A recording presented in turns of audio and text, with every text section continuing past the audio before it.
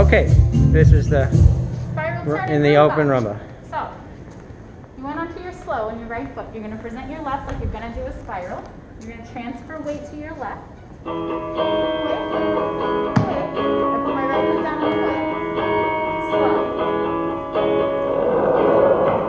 And I'm doing it the other way. Huh? Which way were you showing it? That was your step. Okay, one more time. Slow. Spiral, overturn it. Come on your right and slow, slow, slow. We talked about keeping a keeping a frame, but but keeping uh, more give in your knees and your hip.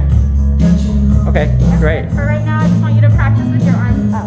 So you're gonna Oh, I forgot about that. It's a good thing you reminded me. Transfer from your right foot to your left. Arms up. Arms up to help the spin. Okay, and that turn is going to get good. Later, but right now, practice like Good, good. Okay.